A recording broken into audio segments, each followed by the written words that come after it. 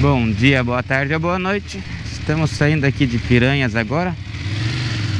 Ah, essa aí é a Torre do Café. Essa era uma estação ferroviária, porque antigamente aqui passava um trem. Hoje é o Museu do Sertão, só que a gente não teve tempo de ver, porque ele abre das 8 às 5 da tarde. E a gente saiu daqui sempre logo no início da manhã e voltamos no final da tarde. E daí não deu. Não pegamos horário aberto. Esse aqui é o centro histórico de Piranhas. Que foi uma cidadezinha pequena e sem muita importância, nem turística nem histórica, até lá pelos anos de 1980. Depois que a represa hidroelétrica foi construída, ela cresceu bastante e acabou ganhando um pouco de notoriedade por aí. E depois também foi difundido mais essa parte da história de Lampião. E hoje o turismo que vem para cá é para ir ver a Rota do Cangaço, que é aquilo que vocês viram no vídeo anterior. E também para os passeios aí pelo leito do rio, o leito original, que é esse que a gente fez até a Rota do Cangaço. E pelo Canyon de Xingó, que é na parte represada logo acima ali.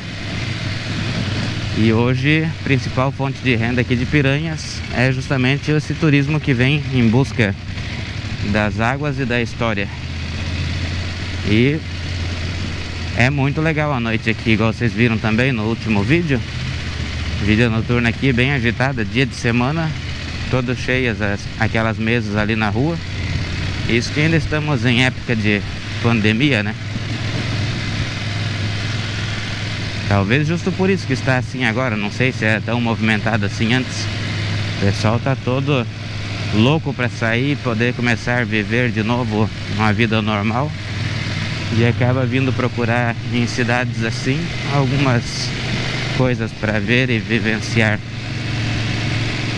Esse é o portal aqui da cidade histórica. E lá para cima é a cidade alta, que foi construída como sendo uma base para os operários que trabalharam na construção da represa de Xingó por 10 anos e que depois era para ser demolida, mas acabou a Chesp, que foi quem construiu a, a represa aqui, deixando lá as casas e as pessoas foram ocupando e não faz muito tempo acabaram vendendo essas casas para as pessoas que ocupavam ali.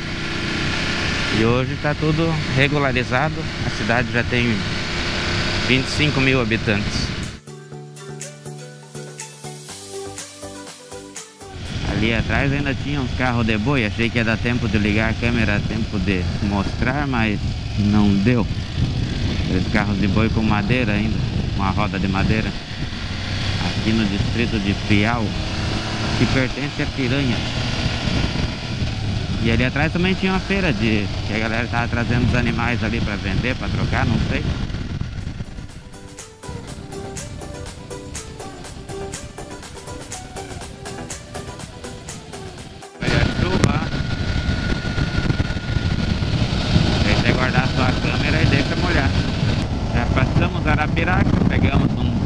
Chuva, se molhamos, nos secamos com o ar quente daqui.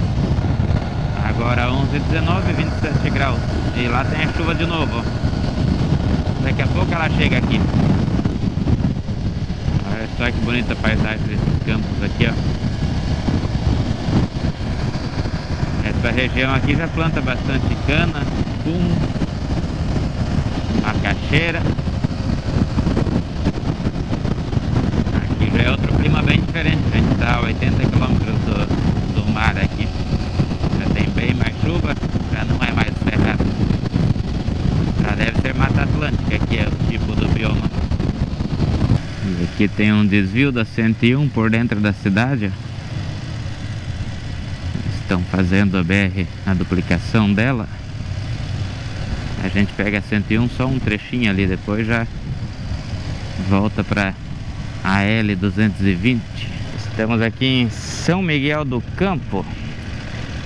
Estou seguindo o GPS aqui, ele me mandou entrar numa rua Ali de um sinaleiro. Chego ali, tinha dois carros, achei que era contramão. Mas quem estava na contramão é o cara que estava na mão oposta, que era para eu ter entrado. Aí esse mototaxista aí viu e que a gente parou para dar uma olhada no GPS e perguntou para onde que a gente ia, ele tá levando nós aí até na saída do da 101. Como agora o GPS está indicando certo, olha a igreja bonita que tem aqui. Bem antiga pelo jeito. O GPS está indo no lugar certo, então deve estar tá certo aí a indicação dele. E ele também não tinha cara de pessoa que estava levando para uma cilada, por isso eu confiei em ir atrás. E a 101 tá ali na frente, depois dessa ponte. Valeu, brigadão.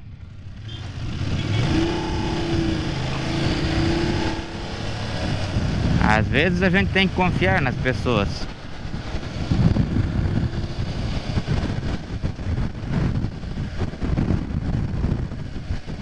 Chegamos aqui em Barra do São Miguel.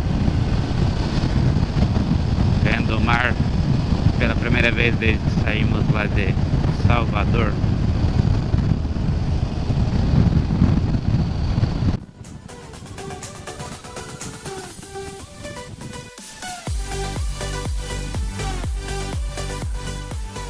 Cidade que a gente estava passando era Marechal Deodoro e depois dessa ponte Maceió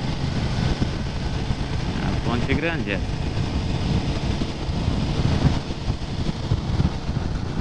olha aí que bonito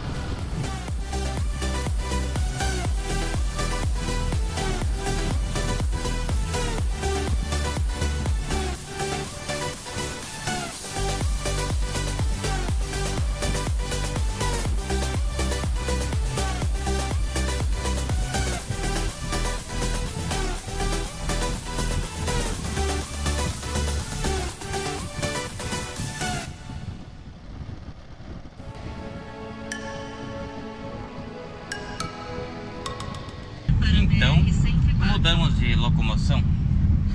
Walter no copiloto, detetor de lombadas e vamos lá, vamos carregar as motos aqui dentro. Bom dia, boa tarde ou boa noite. Vou começar mais um dia, agora o pessoal tá aí, fora das motos. A gente vai pra... a gente vai não. Acabou a viagem. É, acabou, infelizmente. Eles vão pra Goiás, pra São Paulo e eu vou para João Pessoa levar a, a van com as motos. Então, muito obrigado, pessoal. E espero que tenham gostado do passeio. Onde é que tá o Walter? Tá ali, ó. E foi muito legal viajar com vocês. Um pessoal que foi uma viagem bem divertida, não se perdeu ninguém dessa vez, como na outra vez lá na, na 319. Alguma coisa para dizer aí? Só agradecer a condução bem, bem elaborada e precisa da sua parte. É isso aí, obrigado por nos conduzir com tranquilidade e segurança. Isso, é, é importante. Bom passeio. Então, valeu. E agora vamos para a estrada. Então partiu João Pessoa. São 370 quilômetros. Previsão de chegada 2h15 da tarde lá. Cheguei aqui em João Pessoa já tomando um energético, uma coxinha aqui, conversando com meu amor. Dá um oi pra galera aí. Oi, meus amores. Oi, meus amores. Que Deus abençoe vocês em nome de Jesus. Um forte abraço. Fiquem todos na paz do Senhor. Beijo no teu coração, meus amores. E daí fiquei aqui umas três horas esperando, porque eu cheguei aqui era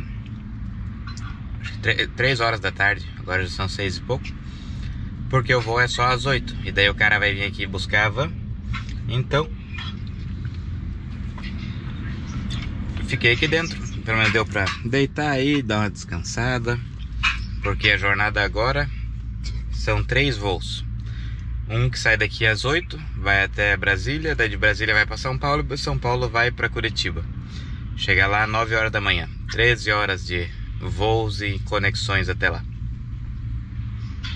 Tá ruim, mas tá bom. É o que tem, né? Então deixa eu terminar de comer aqui. Dá um oi aí, Nara. E aí, galera? Beijo, beijo! Então é isso aí. bora pro aeroporto depois de comer isso aqui, daí lá eu mostro pra vocês como é que vai ser a volta pra casa. Então vamos lá pra primeira perna. Agora pego daqui pra Brasília, inicia 7h20 o embarque, saída às 8 horas daqui.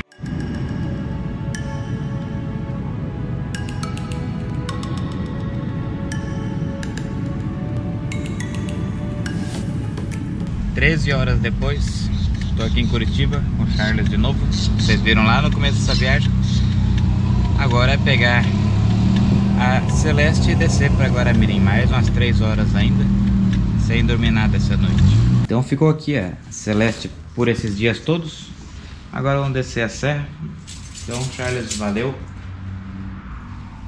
Cuidou bem dela, tá aí. Agora...